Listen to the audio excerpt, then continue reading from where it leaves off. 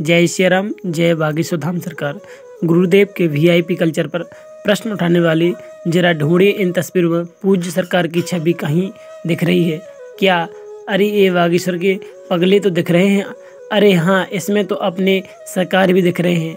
अब ये समझना और बताना, विरोधियों, इसमें से वीआईपी कौन कौन है?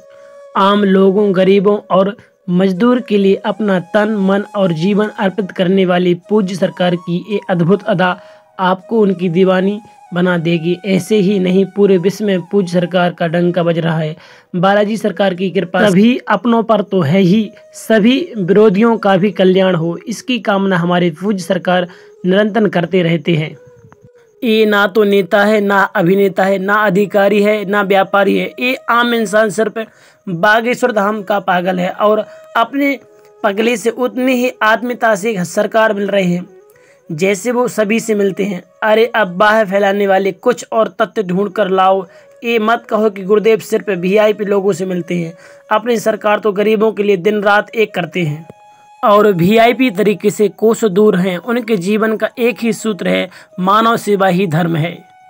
आप हमारी बातों से सहमत हैं तो चैनल को सब्सक्राइब ज़रूर करें और श्री बालाजी सरकार की हमेशा आराधना करते रहें। जय श्री राम, जय बागेश्वर धाम सरकार।